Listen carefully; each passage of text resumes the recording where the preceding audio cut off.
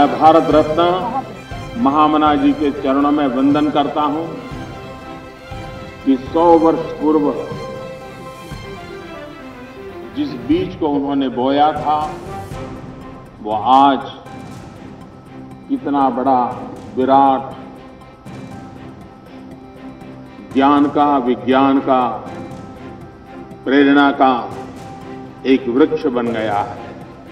लेकिन सौ साल पहले महामना जी के इस कार्य को देखें तो पता चलता है कि दीर्घदृष्टा किसको कहते हैं, विजनरी किसको कहते हैं। गुलामी के उस कालखंड में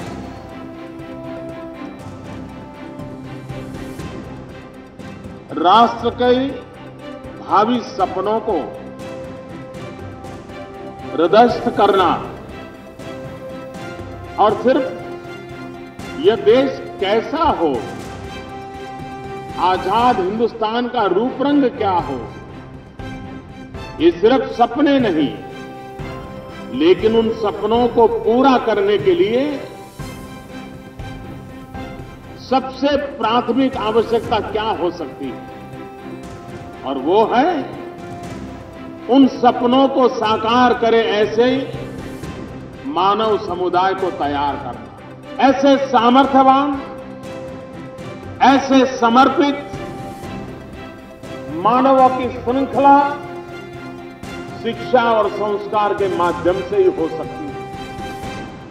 और उस बात की पूर्ति को लेकर करने के लिए महामना जी ने ये विश्वविद्यालय का सपना देखा। महामना जी उन महापुरुषों को तैयार करना चाहते थे कि वे भारत की महान परंपराओं को संजोए हुए राष्ट्र को निर्माण में भारत की आज़ादी के लिए योग्य सामर्थ्य के साथ खड़े रहे और ज्ञान के अधिष्ठान पर खड़े रहे, संस्कारों की सरिता को लेकर के आगे बढ़े, ये सपना महामना जी ने देखा था।